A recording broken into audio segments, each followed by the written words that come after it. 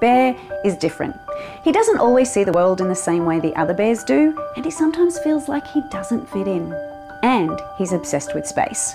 Fact Astronaut is a Greek word meaning star sailor. When Bear decides to build a rocket, the other bears laugh at him. But when he flies into space, it's quiet and no one picks on him or calls him names. But soon he feels lonely until he meets Panda in her rocket and the two become great friends. I've been speaking in schools for about 20 years and I've always been intrigued by those kids who don't always see the world in the same way the other ones do and also they sometimes feel like they don't fit in. And after I saw a drawing of a bear by illustrator Marjorie Crosby Fairall, I asked her if I could write his story. And when I sent it to her, she said it gave her chills. Turns out I'd written about her son.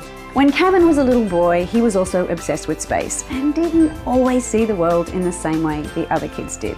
But when he met another little boy who also loved space, the two became firm friends, just like Bear and Panda. Bear in Space is about being different. It's about, though, how that difference shouldn't cut us off from each other, but should bring us together, because we each have something unique and wonderful to share, just like Bear. I hope you really enjoy Bear in Space.